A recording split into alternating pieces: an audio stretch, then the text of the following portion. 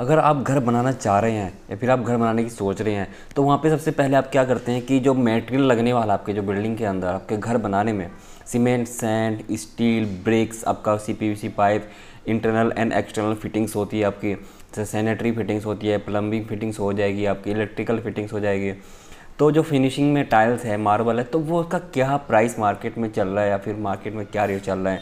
तो सबसे पहले आप क्या बनाते हैं? एक शेड्यूल बना बना लेते हैं, जिसमें क्या होता है कि material price material cost plus labour cost का आप शेड्यूल बनाते हैं। तो पहले जितनी आपकी मेटेरियल जो क्वांटिटी है, उसको रिक्वायरमेंट है, वो आप पहले मेटेरियल को लिख लेते हैं प्लस उसका बजट भी आपको पहले से आना चाहिए, फिर बजट भी निकाल लेते हैं। ठीक है? तो सबसे पहले जान लेते हैं लॉकडाउन के बाद जो सीमेंट है, जो मेटल है, उस पर कितना रेट बढ़ा है, वो जो सबसे ज़्यादा इफ़ेक्ट आया है लेबर की वजह से, क्योंकि काफ़ी जो लेबर है, वो कम हो चुकी है। कहीं कहीं पे लेबर है, वो काफ़ी कम हो चुकी है तो इस वजह से जो मेटेरियल पे है कॉस्ट बढ़ा है। तो सबसे पहले जान लेते हैं सीमेंट के ऊपर। तो सीमेंट एक कॉमन मेटेरियल है, जो ज़रूरी होता है, एक, ठीक है? तो सीमेंट ज़रूरी लगता है। घर बनाने में सीमेंट का यूज़ होता है। ब्रिक मेजनरी के में आपका फ्लोरिंग में हो या फिर आप पीसीसी में कंक्रीट के अंदर आरसीसी के अंदर हो तो सीमेंट यहाँ पे यूज़ होता है। तो सीमेंट का आप लेने जाएँगे, जैसे वंडर सीमेंट है ओपीसी तो ये मैं दिल्ली का रेट बता रहा हूँ। तो दिल्ली का रेट वहाँ पे अगर आप सस्ता मार्क, सस्ता लेने जाएँगे तो दिल्ली में मार्केट में लेने जाएँगे, जैसे कि ज़्यादा क्वान्टिटी के अंदर, और दिल्ली क्या आ जाता है, एक सिटी आ जाता है आपका, कैपिटल आ जाता है, ठीक है? आसपास जितने भी एरिया होते हैं, जैसे आपका हरियाणा है या फिर आपका यूपी है तो तो दिल्ली के आप ठीक है? पंजाब है तो उसके आसपास के जो एरिया है वो दिल्ली से कॉमन होते हैं। तो इसी बेस पर जो रेट है, वो आपका मार्केट में आने पर रेट बढ़ता जा, बढ़ता चला जाता है। तो वो दिल्ली का जो मार्केट का रेट है, मैं वो बता, आपको बता रहा हूँ। सबसे पहले जान लेते हैं वंडर ओपीसी सीमेंट तो वंडर आप सीमेंट लेने जाएँगे, जैसे कि आपको सस्ते में खरीदना है तो वहाँ पे साढ़े चार सौ का लगभग अप्रोक्स चार सौ का भी बैग पड़ेगा, जैसे वंडर ओपीसी है तो लगभग अप्रोक्स आपको ये चार सौ तक का बैग पड़ेगा। चार सौ, ठीक है? तो ये 400 से आपको 400 से ये आपको 420 तक आपको लगभग पड़ेगा यहाँ पे ओपीसी में। ठीक है 43 ग्रेड जैसे आप लोकल मार्केट से जाएँगे लोकल मार्केट से लेने जाएँगे लेने जाएँगे, जैसे 50 बैग लेने हैं या फिर आपको 10 बैग लेने हैं तो उसमें क्या होता है कि सीमेंट बैग प्लस का उसका किराया भी चार्ज होता है। ठीक है, लेकिन आप जैसे कि डिस्टेंस से मंगाएँगे तो वहाँ पे इकट्ठे बैग आ जाएँगे तो वहाँ पे आपको कोई किराया उसमें एडेबल ऐड नहीं होता है तो उसी में आपके इंक्लूड होता है रेट बैग के अंदर ही। अंबुजा सीमेंट लेने जाएँगे तो वहाँ पे तीन सौ नब्बे का अप्रोक्स आपको पड़ेगा ओपीसी और लोकल मार्केट से लेने जाएँगे तो वहाँ पे अप्रोक्स आपको चार सौ प्लस ही पड़ेगा। ठीक है?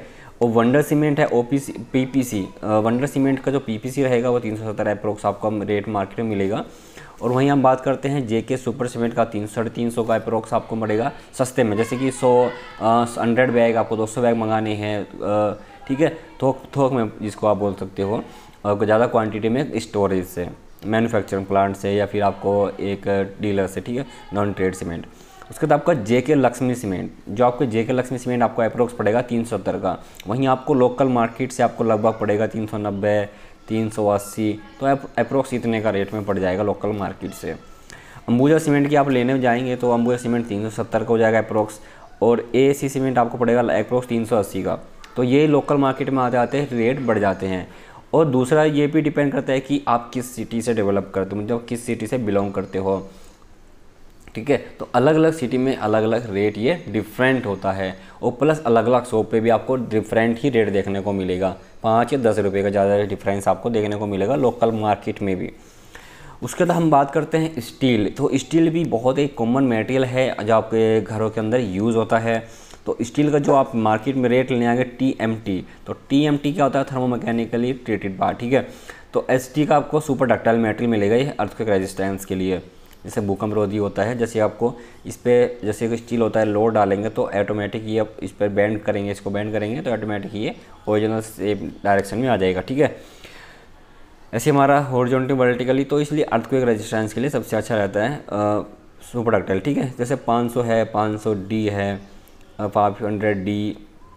तो ये आपको लगभग पचास से बावन रुपये का एक प्रोक्स आपको पर केजी मिलेगा, ठीक है? तो पर के हम क्या करते हैं लोकल मार्केट से जैसे आपका रिक्वायरमेंट आ रही है चार सौ के जी या फिर चार सौ टन तो लगभग ये आपको 400 के जी आपको यहाँ पे स्टील आप लेने जाएँगे तो 400 तो अप्रोक्स कितना रेट चल रहा है, पचास का तो पचास हो जाएगा, पाँच चौक बीस लगभग आपको ये, ठीक है? तो बीस हज़ार का अप्रोक्स आपको खर्चा बन जाएगा।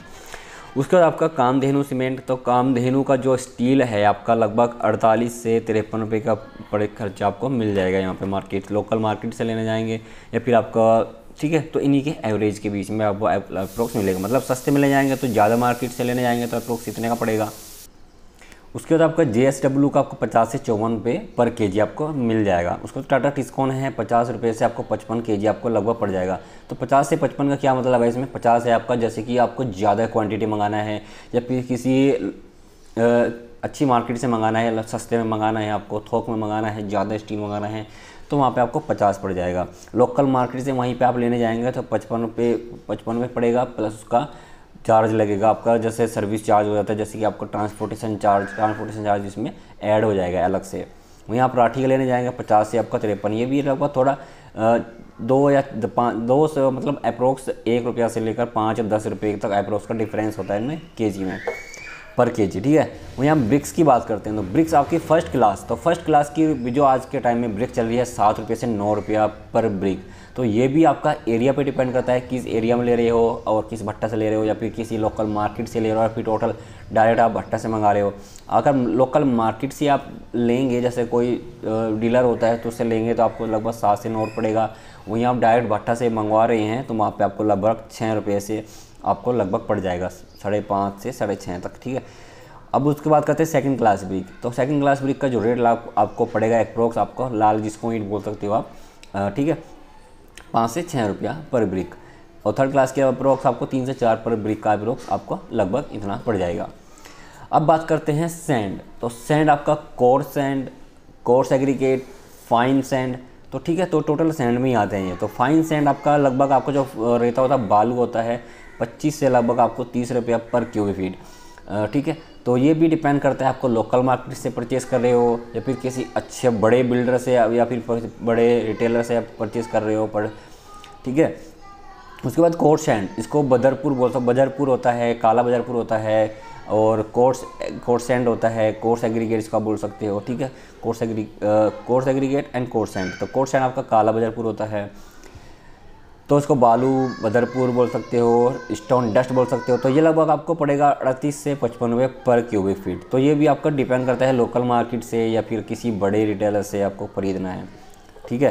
उसके बाद गिट्टी आपको twenty M M twenty M M भी आपको ये लगभग इतना ही पड़ खर्चा आपको पड़ जाता है, लगभग एप्रोक्स आपको चालीस से आपको लगभग पचास रुपये पर क्यूबिक फीट ठीक है? और ये अभी आपको लगभग पैंतीस से लगभग आपको चालीस रुपये पर क्यूबिक फीट आपको पड़ जाता है, और ये थोड़ा दस एम का है ये आपको, ये भी आपको 40 से लगभग एवरोस पचास रुपये पर क्यूब फीट। तो डिपेंड करता है लोकल मार्केट में आप पता करने जाएँगे तो वहाँ पे आपको टोटल ओरिजिनल रेट आपको वहाँ पे मिल जाएगा। उसके बाद करते हैं पीवीसी पाइप के लिए। तो पीवीसी जो आपका पच्चीस एम का जो डाया का पच्चीस ट्रांसफ़र पाइप होता है तो वो आपको सत्तर रुपये से नब्बे रुपये पर के आपको पड़ेगा। पीवीसी पाइप होता है जो आपका फ्लेक्सीबल पाइप एक इंची का जो डाया होता है, जिसको आप वाटर ठीक है फ्लो के लिए यूज़ करते हो, जैसे कि कोई पानी ब्रिक वाल क्यूरिंग के लिए उसकी वजह से। पी जैसे पीवीसी चार इंची का पाइप होता है, तीन मीटर उसकी लंबाई होती है, इसका दस फीट आप बोल सकते हो, ठीक है? दस दस फीट का लंबाई होगी, चार इंची का पाइप होगा तो वो आपको लगभग अप्रोक्स एक सौ पाँच रुपये पर के जी आपको पड़ जाएगा। लोकल मार्केट में थोड़ा एक सौ पाँच, एक सौ दस, एक सौ बीस भी मिल सकता है। वहीं तिरुपति का जो, आपको तिरुपति का जो पाइप मिलेगा, आपको लगभग एक सौ पचास रुपये पर के जी आपको मिल जाता है। वहीं पे डक्ट वाटर, जैसे कि आप रेन वाटर पाइप बोल सकते हो, चार इंची का रेन वाटर होता है अभी डक्ट पाइप होता है छः इंची, नौ इंची तो आपका लगभग आपका एक सौ पाँच रुपये पर के जी आपको लगभग पड़ जाएगा।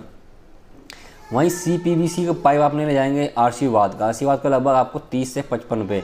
तो ये भी आपको डिपेंड करता है लोकल मार्केट पे एंड एरिया पे, किस एरिया में आपको मिल रहा है, किस एरिया पे, किस रेट पे आपको लगभग पड़ जाता है। ठीक है तो ये अभी पर मीटर में आपको लगभग मिल जाएगा। तो वहीं आप प्रिंस की बात करते हैं, आधा इंची पाइप है, तीस रुपये पर मीटर आपको लगभग मिल जाएगा और पौना इंची है, पौना इंची लगभग पचपन रुपये पर मीटर आपको पड़ जाएगा।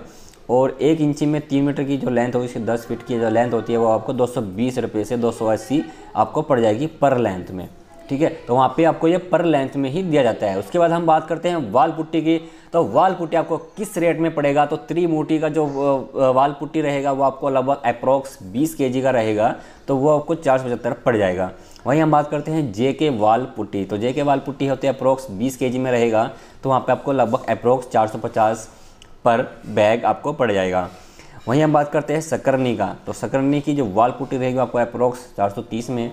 और वाइट सीमेंट आपको लगभग सकरनी का वाइट सीमेंट रहेगा 25 के के अंदर 430 में। वहीं हम बिरला की वाइट सीमेंट की बात करते हैं तो बिरला आपको लगभग 50 के का आठ में और जे के का आपको आठ सौ सत्तर में आपको अप्रोक्स मिल जाएगा। वहीं हम पीओपी की बात करते हैं। पी ओ का जो पाउडर होता है पच्चीस के के अंदर आपको सकरनी का दो सौ का पड़ेगा आपको श्री राम निर्माण का पड़ेगा आपको एक सौ अस्सी का जे के लक्ष्मी एक सौ पैंसठ और शुभ काम शुभ कामनाएँ का आपको एक सौ पचपन। तो जो रेट है आपको, ये लोकल मार्केट में थोड़ा डिफरेंस आपको देखने को मिलेंगे, जबकि ये बड़ी शॉप से आपको देखने को मिलेगा इस रेट में। ठीक है? तो ये ये जो रेट है, थोड़ा डिफरेंस भी हो सकते हैं, ज़्यादा से ज़्यादा डिफरेंस पाँच से दस रुपये का आपको डिफरेंस आपको देखने को मिलेगा लोकल मार्केट से। और वहीं आप बड़ी शॉप से लेने जाएँगे तो जैसे आपको ज़्यादा बैग क्वांटिटी मंगाना है तो आपको सस्ते में पड़ जाएगा। तो thanks for watching this video अगर कोई आपके जो रेट है, वो थोड़ा डिफरेंस है तो प्लीज़ कमेंट बॉक्स में लिख देना कि आपके एरिया में आप किस एरिया से बिलोंग करते हो। प्लस आपके जो एरिया है, वहाँ पे क्या रेट चल रहा है। तो प्लीज़ कमेंट बॉक्स में ज़रूर लिख देना।